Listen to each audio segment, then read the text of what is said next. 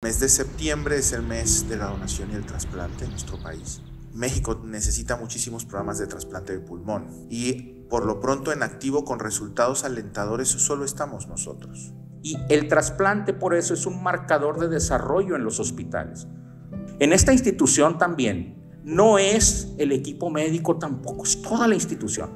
Y siempre hago énfasis en una cosa, la institución son las personas. Yo vengo de Chiapas, antes de mi trasplante doble pulmonar, eh, yo tenía una vida muy activa trabajando y cuando llegó la primera ola del COVID, cuando no había vacunas, cuando todavía se desconocía mucho, pues por mi trabajo y seguramente descuido, me contagié.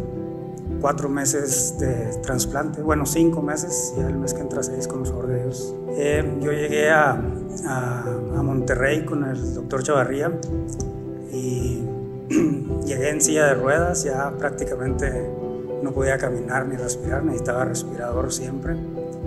Yo estuve cinco años, empecé pues prácticamente, pues de repente fue como muy súbito el empezar a sentir como esta falta de aire, eh, pues me costaba mucho trabajo caminar. Tengo un año, seis meses, acabo de cumplir de trasplantada. Bueno, mi, el diagnóstico es neumopatía intersticial fibrosante, secundaria COVID-19. Este, en 2021 me diagnosticaron una enfermedad rara que se llama linfangioleiomyomatosis pulmonar.